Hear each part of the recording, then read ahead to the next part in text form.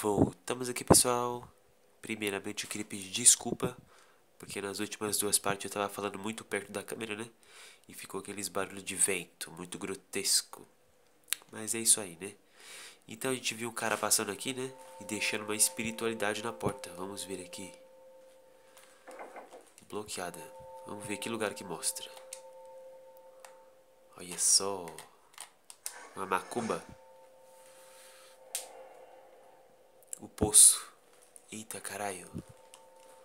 Coisa grotesca. O que será que tem nesse poço? Vamos ter que ir lá investigar.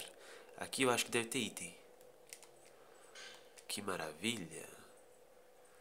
Olha só. Ali em cima, se você for pelo caminho da esquerda, tem um templo.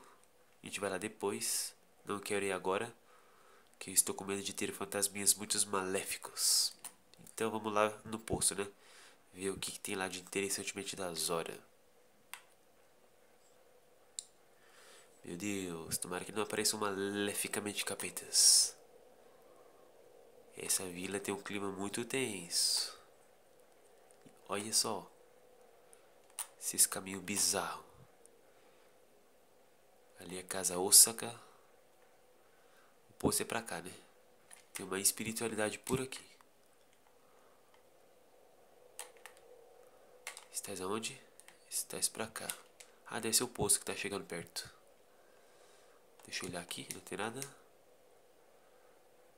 Vamos ver o que está aqui.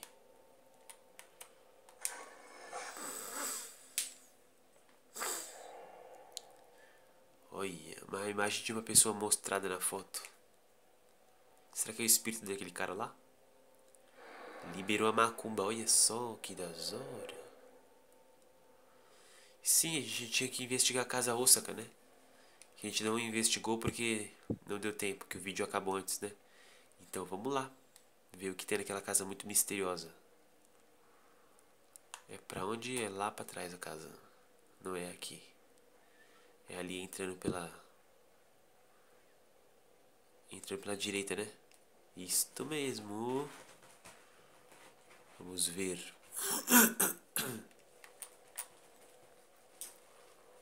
Olha, as pedras gêmeas. Aqui teve, teve um massacre aqui nessa porta, tudo desbagaçada. E vamos lá. Parece que as casas se conectam nessa, nessa parte aqui. Elas se conectam pela parte subterrânea e pela parte de cima ali onde passou a Maio, sabe? Da Maio tava passando ali em cima. Muito grotesco isto. Aqui era a sala do projetor, não tinha nada. Olha só. Remedinho bonito. Casinha grotesca, outra mansão diabólica. Vamos ver o que nos aguarda aqui em cima. Aqui é onde a Maio passou. Olha. Câmera legal esta. Estamos lá em cima. Que visão das horas. Olha o item. Secretinho. Crisobério. Que porra maléfica. É isso aqui, mais uma pedra para ouvir a voz do fantasma, né? A porta está totalmente bloqueada. A Maio não veio por aqui? Vou ter que encontrar outro, outro, outro jeito de entrar. Oh, God. Mas agora o fantasma apareceu. É a velha maligna do pescoço esbagaçado. Veja que grotesca. Nem dá medo, né? Agora do Fatal Frame 1, você até chora de medo. Venha, cadela. Mostre-me o fataframe. No dente. Duas vezes. Três vezes. Sofreu. Muitos combos malignos. Olha, que velha feia. Até que tá bonita, né? Fantasma bem conservado.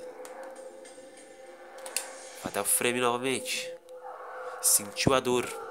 Olha, ganhamos muitos pontos. Porcaria escrota. Deixa eu ver se a porta desbloqueia. Não, a gente vai ter que passar pelo caminho da subterrâneo para poder chegar na outra parte da casa. Muito infernal isto. Deixa eu ver como que tá a câmera. 14 mil. Aff. Vou ter que juntar muito ponto agora. Pra fazer os próximos upgrades. O velho.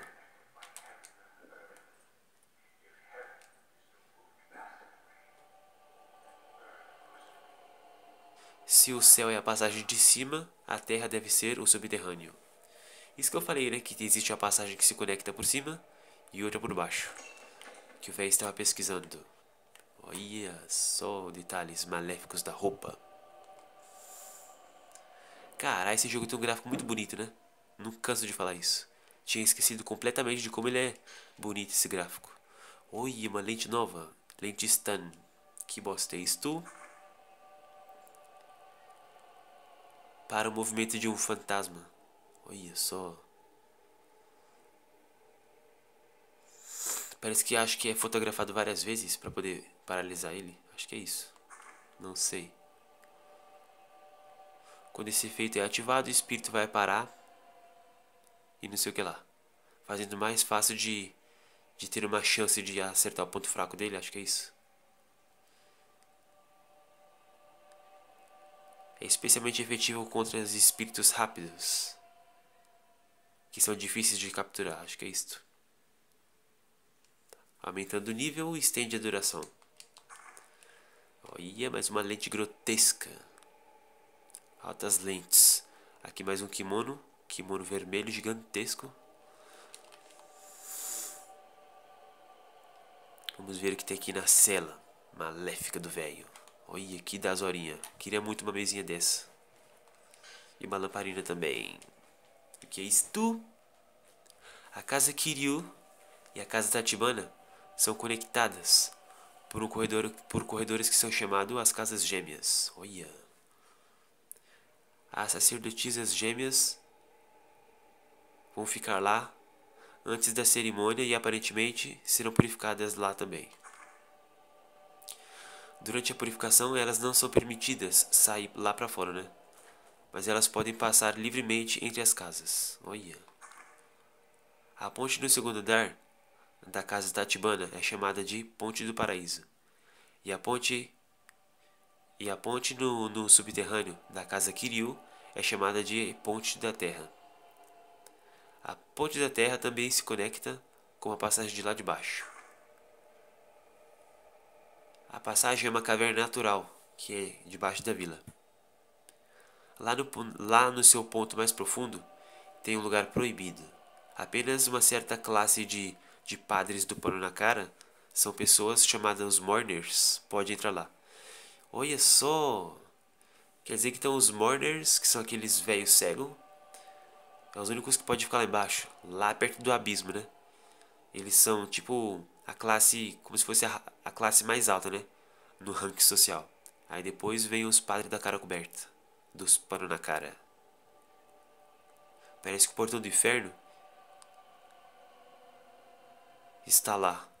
E o ritual proibido também é feito lá no subterrâneo. Coisa maléfica isso, hein? Olha. Mais uma pedrinha espiritual de ouvição de fantasmas. Oh, meu pai do céu. As estátuas guardiãs nessa área são diferentes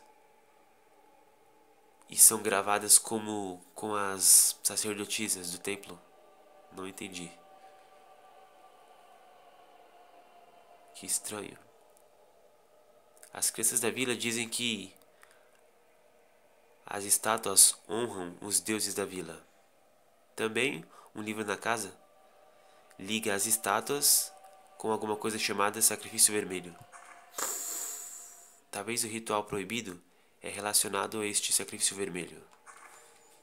Arquivinho muito misterioso esse. Meu Deus.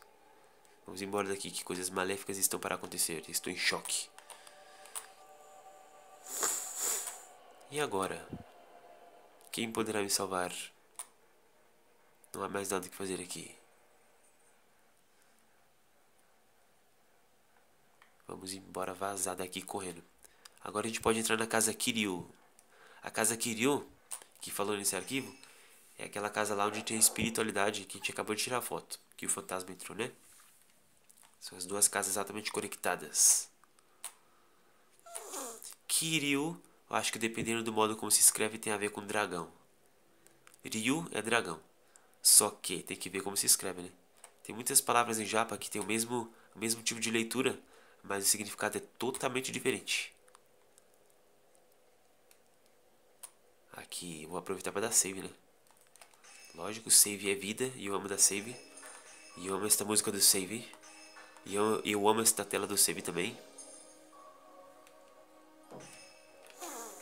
Se minha voz estiver ficando estranha, não reparem, pessoal. Eu acho que eu sou uma pessoa que não costuma falar muito, né? Daí quando eu falo muito, tipo nos vídeos, eu vou eu forço muito a voz, né? Eu faço ela trabalhar bastante, então acho que ela começa meio que falhar, meio que ficar mais rouca, né? Ai meu Deus, capítulo 6. O restante, o que faltou, né? O remanescente. O que sobrou. Ai. Daisy Doll, boneca alguma coisa. Duas bonecas espiando pela janela. Puta que pariu. Coisa infernal do demônio. Olha o tamanho desse pote. Coisa maligna. O fogão a lenha. Fogão a lenha do estilo do Japão. Essas casas tradicionais são lindas. Lembrando que hoje em dia ainda tem essas casas tradicionais, né? Mas é mais na parte do campo. E lá na parte de. lá em Kyoto. Kyoto é um lugar onde tem muita parte da, da tradição japonesa, né? Um lugar muito bonito também. Não me mate, ouvi a boneca falar. Olha, bonequinha satanista. Para de tirar foto, idiota. Também quero filme 7, graças a Deus.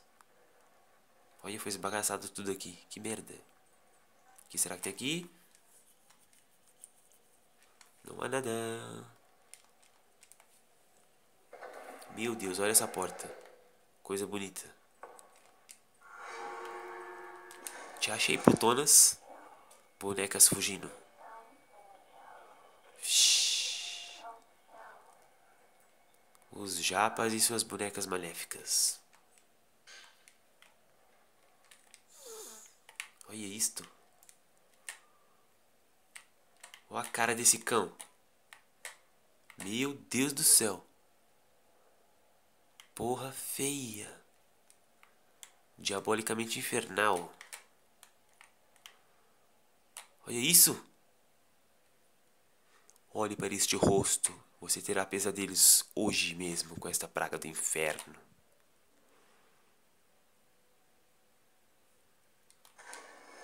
Oh meu Deus do céu. Usei a macumba. Apertei o triângulo, né? Quando você aperta o triângulo, você gasta o poder da lente, lembrando. Filme 14 já tá cheio. Aqui não tem mais nada nesse armarinho. E aqui tem uma boneca caída, velha podre. O que mais que tem aqui? Olha. Tem itens. Não há nada, então vamos seguir.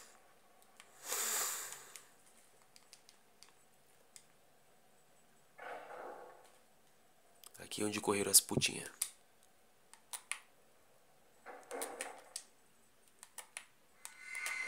Trouxas foram capturadas. Gêmeas desaparecendo. Olha, ganhamos muito pontos. Meu pai do céu, esses barulhinhos muito grotescos, olha. Cê é louco. Tem save aqui. Em algum lugar dessa sala acho que tem um save. Filme 61. Pelo menos a versão do Wii tinha um save. Olha que triste, não temos o save aqui. Essa porta aqui eu acho que tá bloqueada. Deixa eu dar uma olhada. É, a gente veio daqui tem essa porta aqui pra investigar. Trancada por enquanto. Vamos ver esta aqui.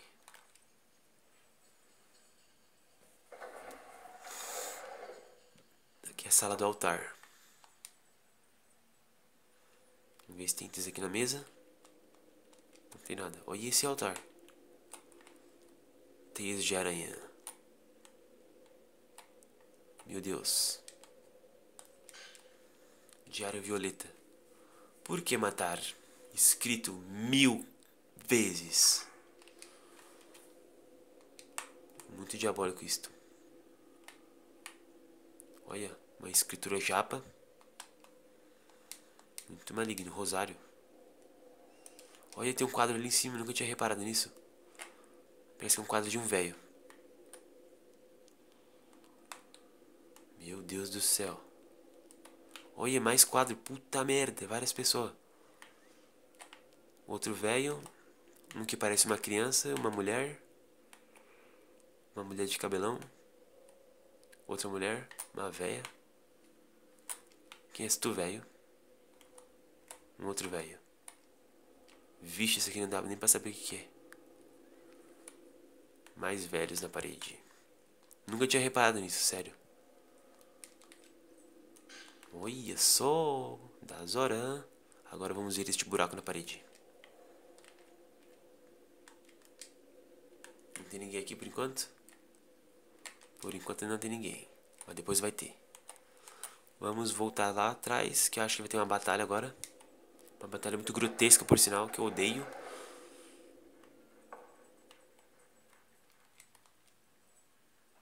Olha só. A portinha misteriosa. Estou com medo de olhar essa porta. Mas eu acho que aqui tem um save. Vamos deixar pra olhar depois. Os biombo. Armários estilos japas, não tem nada dentro. Um pote quebrado velho. O que será que tem dentro? Uma planta morta? Uma planta morta. O que é isto? Olha, estamos pegando vários remedinhos, está muito bom. Agora mil você sofrerá. Bloqueada demais.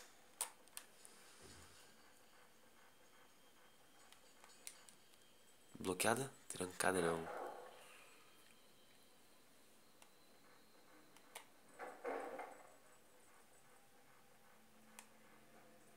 Que quarto grotesco este. Muito misterioso também, né? Olha um altar duplo. Puta que pariu. Olha um tamborzinho estranho aqui do Japão. Os espelhos estão cobertos. Vixe. Antigamente as pessoas antigas cobriam os espelhos, né? Na hora de dormir. Não sei porque parece que os fantasmas podiam passar pelo espelho. Os espíritos, né? Sim, falavam também que quando você. Bem antigamente, né? Bem na época que a câmera foi inventada, na vida real, as pessoas falavam que tirando foto da, de alguém, você tipo sugava a alma da pessoa. Muito diabólico isso, né? Já pensou? Olha, coisa brilhantemente bonita. Muito da gostei. Mas como já estamos no final, vamos lá dar save. Né? Depois a gente termina de investigar esta sala maléfica. Essa parte foi bem tranquila, né? Não teve nenhuma batalha.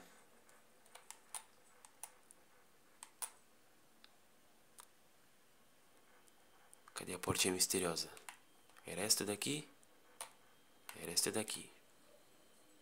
Quer dizer, eu acho que é aqui que tem o seio, né?